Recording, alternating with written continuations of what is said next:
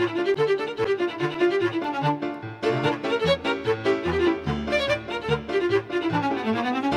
wine is being the favorite of the night because it's an amazing Beaujolais. You just have to taste it. Uh, Regnie is a um, Cru Beaujolais, and it's uh, one of a very young producer from this area. So, fantastic wine. Taste. So what's the grape? This is Gamay. It's Beaujolais, the region, and it's um, it's really beautiful. It's very old vines. What kind of what kind of food do you eat with? Food, um, I think some uh, nice uh, salchichon, something like that. Some like salty, like uh, salami, or maybe some veal, something like that. But definitely salami with this.